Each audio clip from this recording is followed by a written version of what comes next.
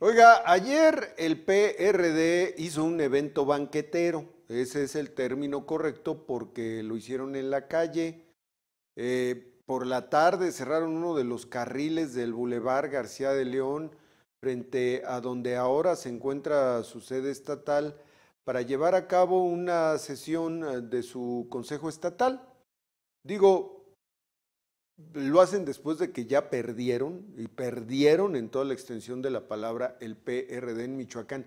Suceda lo que suceda, eh, con la elección a gobernador el PRD perdió estrepitosamente en Michoacán.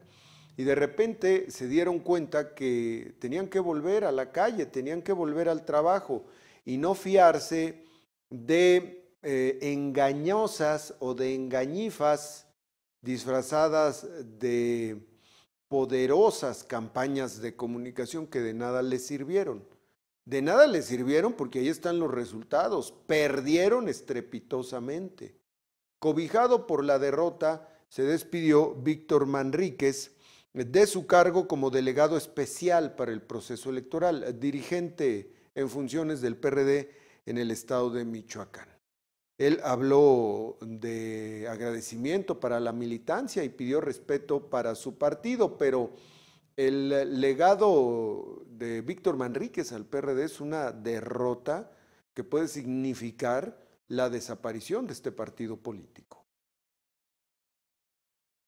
Debo comunicarles que en las próximas horas culminará una etapa para la que fui nombrado como delegado especial para el proceso electoral.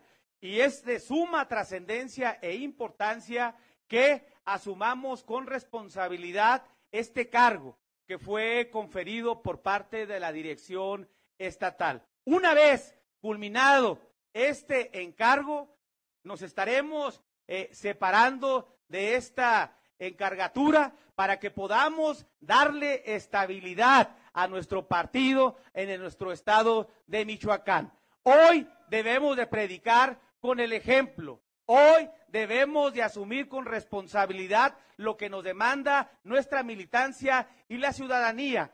Hoy tenemos que agradecerle a todas y a todos por su confianza, el liderazgo de consejeras y consejeros, su apoyo y respaldo, quienes depositaron en su, en su servidor esa confianza de poder dirigir las riendas de nuestro partido.